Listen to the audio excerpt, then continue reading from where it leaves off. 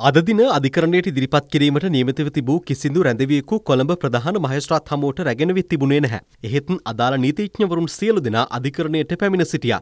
අදාළ රැඳවියන් අධිකරණයට ඉදිරිපත් නොකිරීමට හේතු විමසූ අවස්ථාවේදී ප්‍රකාශ වූයේ බන්ධනාගාර නිලධහරින් අසනීප නිවාඩු වාර්තා කර ඇති බවයි. ඔවුන් එසේ අසනීප නිවාඩු වාර්තා කිරීමට හේතු විමසූ මහේස්ත්‍රාත්වරයා මෙය අධිකරණයට සිදු කරන ලද බලවත් අපහස්සයක් බවද සඳහන් කළා. ඒ අනුවයි බන්ධනාගාර කොමසාරිස් ජෙනරාල්වරයාට අධිකරණය හමුවේ අද දිනේ පෙනී සිට මේ පිළිබඳ කරුණු දක්වන ලෙස නියෝග කෙරුණේ. මේ අතර කොටුව මහේස්ත්‍රාත් අධිකරණයටද කිසිදු රැඳවියෙකු ඉදිරිපත් කර නොමැති බව අප වාර්තාකරුවන් පවසනවා. කොළඹ රිමාන් බන්ධනාගාරයේ අධිකරණ කටයුතු යැවීම සම්බන්ධයෙන් යම් ගැටලුවක් වුණත් ලංකාවේ සෙසු බන්ධනාගාරවල අධිකරණ කටයුතු සාමාන්‍ය පරිදි සිදු කිරීමට හැකියාව ලැබුණා. විශේෂයෙන්ම බන්ධනාගාර නිලධාරීන්ට බන්ධනාගාර ආඥා පනත සහ ආයතන සංග්‍රහය අනුව මෙවැනි වෘත්තීය ක්‍රියාමාර්ගයක් ගැනීමට කිසිසේත්ම අවස්ථාවක් නැහැ. ඔවුන් ඔවුන්ගේ වැටුප සම්බන්ධයෙන් කරුණු කීපයක් ඉදිරිපත් කරමින් පසුගිය දිනවල සමාජ මාධ්‍ය තුලින් යම් පෙළඹවීමක් කරමින් නිලධාරී උසිගැන්වීමට ලක්කිරීමට කඩාකප්පල්කාරී නිලධාරීන් කීප දෙනෙක් උත්සාහයක් දරලා තියෙනවා. සමාජ මාධ්‍ය හරහා සංවිධානය වූ සියලු නිලධාරීන්